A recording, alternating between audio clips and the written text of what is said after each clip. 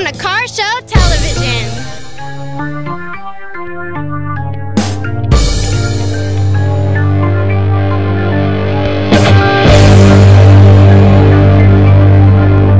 Hey guys, welcome to the Hooters in Fort Lauderdale for the Hooters and Horsepower Car Show, a first Sunday of every month.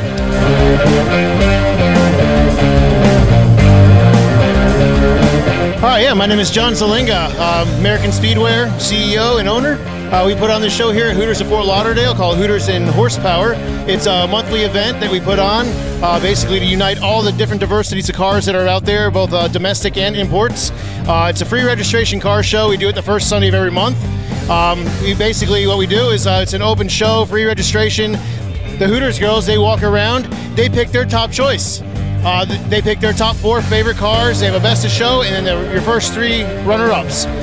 Like I said, it's uh, free registration, open to everything, and we're here from 12 to 4:30 at Hooters of Fort Lauderdale.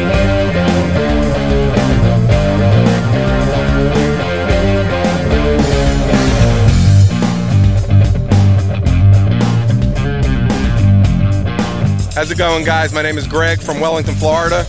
I got a 2008 Shelby GT500 convertible.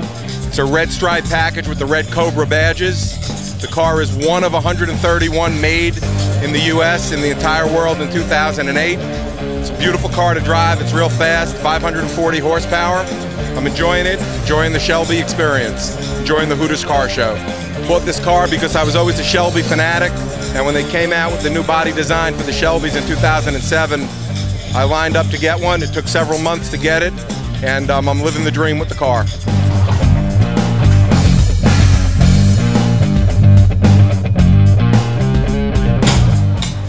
What we got going on? Dipworks is dipping actually some purple rims that are stocks. If you look at this white cobalt here, we have green or purple dip on it along with a white dip car.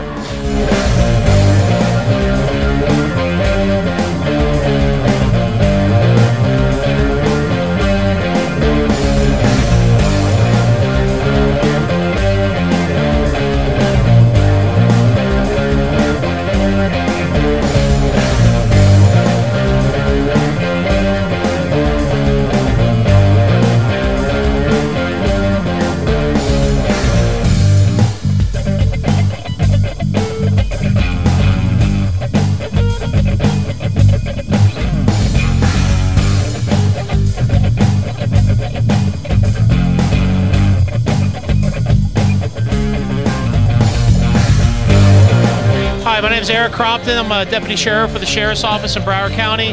I do a Beat the Heat program. The program actually originated in Jacksonville, but now the main office is out of Texas. What Beat the Heat is, is it's, it's policemen and firemen that drag race. We try to get kids to go and race at the track instead of racing on the street. Uh, tracks like Palm Beach International, County Line Dragway. They put on events where we race kids. Uh, we bracket race kids, and what we do is they beat us. They get a shirt that says "I beat the Heat."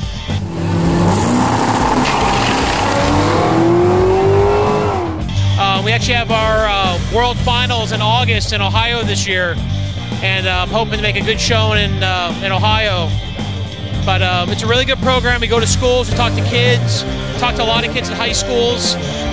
Obviously, we're not going to stop everyone from street racing, but if it saves one kid, it's definitely worth it. Uh, for my personal program, they go on Facebook, uh, Beat the Heat, Broward chapter. You can go online to the national chapter, which is Beat the Heat Incorporated Racing. Uh, gives you all kind of information about what Beat the Heat is, uh, all the uh, programs that are out there, what beat, uh, what we're involved in. Uh, the good thing is too, anything that any company wants to get involved with, whether it's car involved or not car involved, it's a tax write-off for those companies, and it gives them a really good exposure nationally and locally for those companies.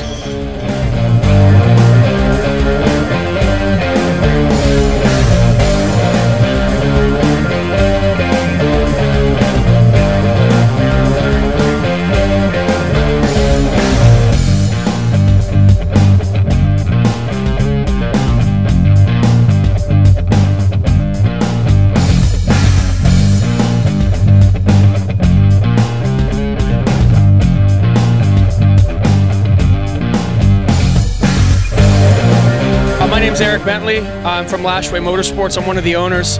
Uh, we're here today at the Hooters car meet. um, we brought out uh, a couple of cars actually. Uh, one in particular is our 2007 Corvette Z06. Uh, we bought this car about a year ago um, from a gentleman in North Carolina with 77,000 miles on it. Uh, we did that because it was affordable. Truthfully, these cars are really out of our price range, but uh, we were able to get this one aff- affordably and uh, right away started modding it. Um, you know, started with the with the engine, uh, aftermarket set of cylinder heads, aftermarket camshaft, uh, long tube headers. I mean, just about everything you can do to this car, minus a supercharger or a turbocharger. We wanted to keep we wanted to keep the engine, you know, uh, just a motor setup 427. Um, once we did the power and the tuning and stuff like that, we went on into the uh, to the cosmetics of the car. Um, we enlisted the help of Superior Automotive Design for the wrap. That's a matte blue metallic finish made by 3M. Uh, the car is actually black, so if you look at it, you would know it, but it's black underneath. Uh, the matte blue metallic fits the car really well. We moved on then to the carbon fiber accents, added a carbon fiber splitter. Um, as you can see, well, we've run into a few items with the splitter. You know, unfortunately, that happens when you have these cars and they're that low to the ground. But the beauty of the cars that we build is that they're built for daily driving use. They're not the type of car you're going to take it in a trailer and you know never never sees a light of day. I drive this car every day to work. If I hit something, if I hit a bump or you know scrape the underneath, that's just the way it goes. But uh, that's the beauty of owning these cars and building these cars is it's just uh, it's a lot of fun. We enjoy it, and we're lucky enough to do it for a living. So uh, we did add a nitrous oxide system in this car from Nitrous Express. It's a uh, it utilizes a 102 millimeter plate. It's a wet shot, so that means fuel and nitrous are both delivered to the intake manifold when it activates.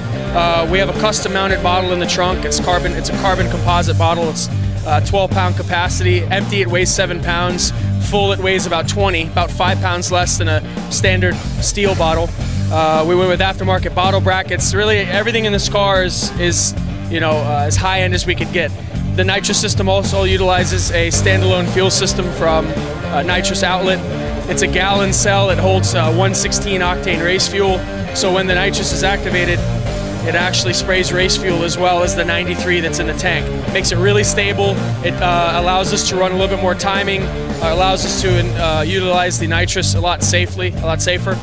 Uh, best quarter mile in this car is a 10.0 at 140.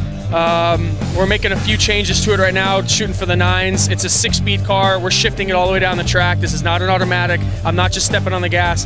Um, you know, cutting a good 60 foot in this car is difficult, so we're working on the suspension as well. Um, zero to 60, I, I would estimate to be somewhere in probably low four seconds, high three seconds. It's extremely quick. There's no doubt about that.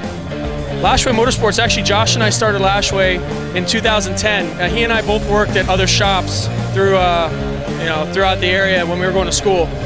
And we noticed, uh, we noticed that there was a void in the market for not only a shop that knew what they were doing and, and just that level of professionalism, but also that just treated their customers the way that we would want to be treated.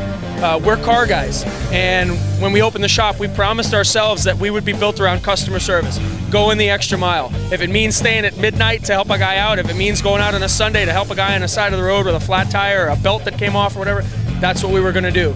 You know, it's it's just it's a it's a labor of love. It's not easy, but we're very blessed to be able to do it. So.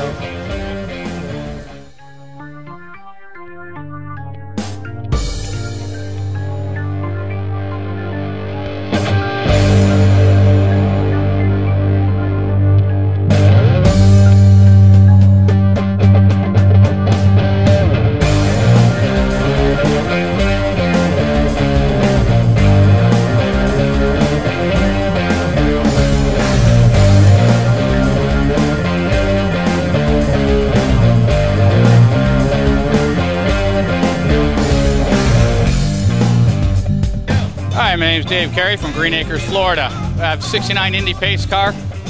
If this particular car is one of 10 produced. How many of those 10 are left, I'm not really sure. In 69, what happened is they're very big on image branding. If you wanted a pace car with air conditioning, it was mandatory automatic transmission. If you wanted a four-speed, you couldn't get AC. Well, the I bought this car off the original owner, and he bought it for his daughter in 69 as a graduation present. And he insisted on AC, and GM said no at the time, and he said, no, I have to have it, and I want the four-speed. And he eventually got it. Uh, it's all numbers matching from stem to stern. Um, I spent about two and a half years restoring it. Uh, it was a basket case when I got it, and it's got 42,000 original miles on it. Sitting for 25 years in a barn when I found it. And I basically took the whole car, every single nut, bolt, and washer, including the interior, all the uh, material I took off of it, the seat cushions, I sandblasted the frames, and painted them, put it all back together again, and the, like such what is finding original parts of this is very, very difficult. You can buy lots, of, you could build a car like this just from restoration parts, but they're nowhere near the quality of an original part. There was a limited production of actual what they call track day cars. This is not a track day car. It's this one that was sold to the general public and the dealerships. There's about, I'm not sure the exact numbers, I think there's about 3,000 of them made, and there's about uh, 40 or 50 track day cars. And like I said, those ones actually went on the Indy 500 and paced the tracks. This one is actually sold right here in Florida. This car has never been out of Florida. I love the Camaro because, I mean, it's an iconic car. I mean, if you look at all the Camaros, everybody's personal favorite seems to be the 69 Camaro. And when I found this car, I had to have it.